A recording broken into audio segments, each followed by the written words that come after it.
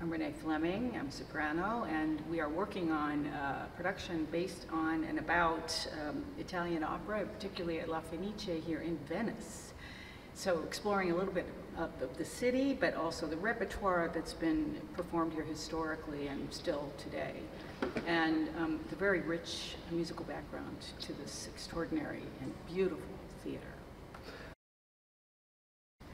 Well, the, the, the really the, the opportunity to collaborate with IMAX and Stage Access was uh, kind of a dream, you know, something that I would have wished for all throughout my career. It's, it's an opportunity to kind of blend the type of programming that people love so much right now, which gives the spirit, the color, the flavors of a place and blends it with the culture because I am a cultural tourist. Everywhere I go, I want to see the theater, the museums, sample the food, of course, but I really especially love to see what people have created through history.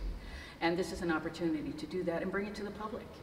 And of course, the focus is on opera, which is my love, my life, um, how I've spent my many years um, on stages, uh, but singing repertoire that is so virtuosic and reminding people that we still don't use microphones. We're unamplified. It's a very special art form.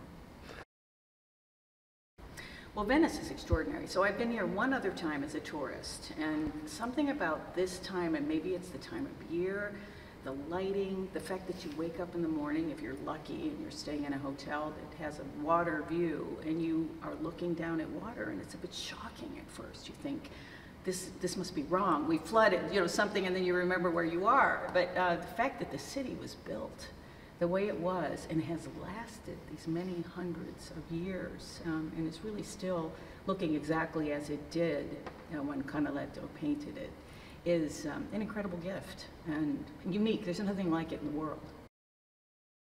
Well, Paris is um, my love. I sang at the Paris Opera for a solid decade plus and had a home there and I just fell in love with it. it you know, the, again, the culture of Paris, walking the streets, and the architecture, the light, the fact that as I, I used to say that as I came in from the airport, my mood would lift because I knew I was going to be encased in all of these buildings that were pretty much white and just so, so much light in that city. And, um, uh, and again, the culture, so many museums, and it is the opera capital of the world.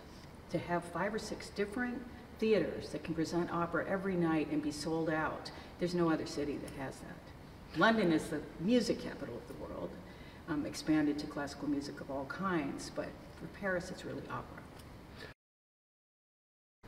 La Fenice, first of all, I never, I, I, I think I saw it once um, as a visitor, but I've never sung here, and uh, it's incredibly beautiful. And it's a jewel because it's not big. It's, you can feel that you can sing intimately which is a gift because I, I love to use the whole spectrum of my voice. I want the dynamic spectrum, not just being, feel like I'm compelled to sing at, as loud as I can for the whole evening. And, um, uh, and that kind of variety is exciting. The orchestra also plays with perfect style. This is, they live and breathe this music. It's in their DNA, it's in their history. So that's a real gift. And Riccardo Frizza, of course, I collaborated with him before in Handel and um, uh, Donizetti. And so again, he is a perfect um, conductor for this repertoire because it's, it's what he does. So, and my colleagues are extraordinary. I mean, uh, to sing with Francesco Meli, who's really at the top of his game in opera in Italy, you know, everyone I asked said he's the one to, to try and sing with. Mattia Olivieri is just an up-and-coming baritone with the most gorgeous voice absolute style. I think he's going to be a huge star, and we'll say we saw him now. And Paola Gardina is also a gorgeous mezzo-soprano who sings beautifully. Um, and I love to just hear them sing in Italian. It's, for me, it's just, that's the way it should be. IMAX is the perfect format because it's big, and there's nothing bigger than opera. Opera is called grand opera for a reason. It's already larger than life. You're incorporating every art form into one art form. It's all there. So what better way to see it than on the largest screen possible if you can't see it live, or in addition to seeing it live? Well, we, we've worked very hard on the repertoire, on, on thinking about the concept of it, um, kind of putting together the idea and the notion that, you know, um, there have been, there's been programming that's cultural programming that, that, people really love, whether it's Chef's Table or Anthony Bourdain, these types of things that give, allow people to travel without traveling, I think are very attractive. And it's never going to be seen as it will be seen here. I mean, I, I can't say I've ever been filmed by drones. The fact that we can be outside, that we can see these images from so many different directions, it will be absolutely unique. Well, uh, what we've done is focused, or tried to focus on the repertoire that belongs in each place. So obviously Paris was French opera, and I know a lot about French opera. I've sung quite a bit. I think the stories are extraordinary. Um, there's so much more that we could tell uh, than we can do in 90 minutes. And um, here in Venice, of course, so many of the greatest opera composers in history started here, premiered their works here. Verdi, Rossini, I mean, so many others. And to be able to tell these stories and for me, standing on the stage where they were premiered is especially moving. You know, I used to just touch, kiss the stage. There's something about wanting to be connected to the lineage of what came before that makes classical music so special. These performances, first of all, they're beautifully filmed, beautifully lit. It's a completely different perspective because it allows the audience to be on stage because they're looking at us, but they're also looking at the house. And I think that's, that's kind of a special thing. Um, you know, rather than seeing sets, we're seeing the, the extraordinary ceiling paintings and the, the frescoes and the, you know, the, all of the trompe l'oeil that's in each of these theaters. So I, I think for the audience, again, they're with us on stage. I think they'll get gorgeous music, they'll have beautiful sound, they'll have gifted singers um, singing a variety of repertoire, and we've tried to kind of have uh, me paired with someone who was also at the top of their game and, and well known, and also to kind of features some up and coming singers as well, so the audience can root for the next generation. And I love that. I think that's very important.